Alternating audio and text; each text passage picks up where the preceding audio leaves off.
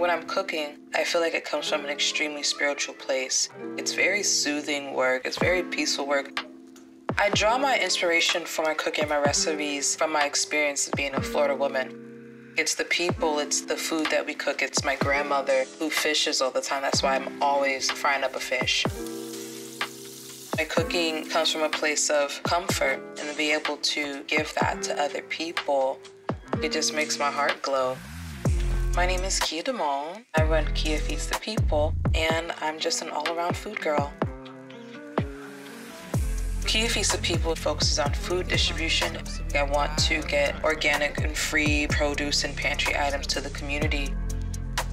We work with the black and brown community, the unemployed, unhoused, queer, and trans, and anyone that doesn't have the food that they need. Zacarías and myself, we source our produce by just hitting up our farmer friends. You have to support your local farmers. That only boosts the nutrition that you have.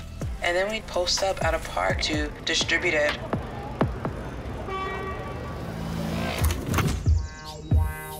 Being a good neighbor means looking out for that person even when they don't know that you're looking out for them.